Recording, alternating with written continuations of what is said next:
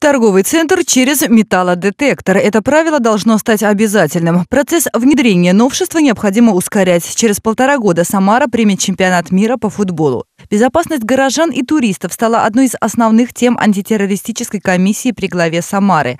Результаты работы всех структур очевидны. Уличная преступность за год снизилась на 9%.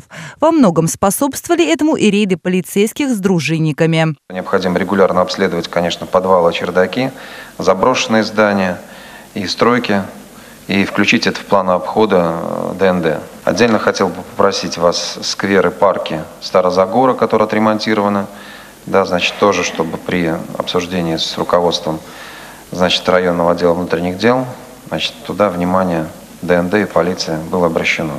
Внимание к безопасности объектов Мундиаля. Проверку прошли 52 гостиницы, в которых разместят болельщиков. Паспорта безопасности готовят на все места массового присутствия людей. Акцент и на профилактику экстремизма. Помощниками в этой работе могут стать и молодые люди, активисты общественных объединений.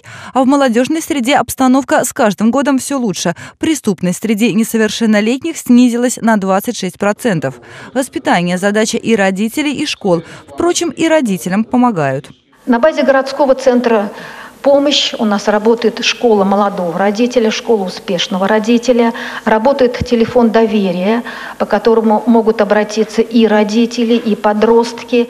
Не остается без внимания и вопрос мигрантов. Районные власти вправе реализовывать собственные программы, направленные на предупреждение незаконной занятости, а разоблачать нелегальных гастробайтеров могут помочь ТОСы и общественные советы. Марина Кравцова, Григорий Плешаков. События.